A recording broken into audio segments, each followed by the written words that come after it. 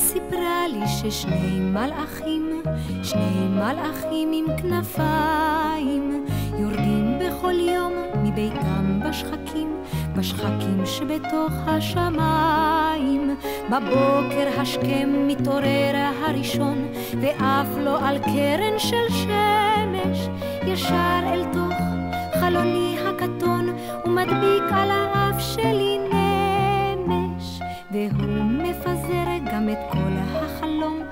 שנשאר לי לגמור מן הלילה, ואמא רואה בין כפלי הווילון איך הוא טס במהירות עד למעלה.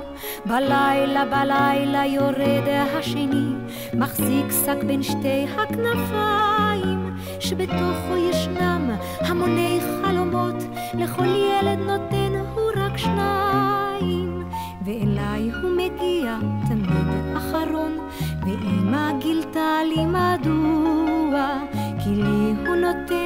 כל מה שנשאר, ומשאיר על ידי גם תפוח, כי זה הסימן שהוא שוב היה כאן, המלאך שלי עם הכנפיים, ואני שוב אוכל התפוח בדיוק, בדיוק כשהוא שב לשמיים.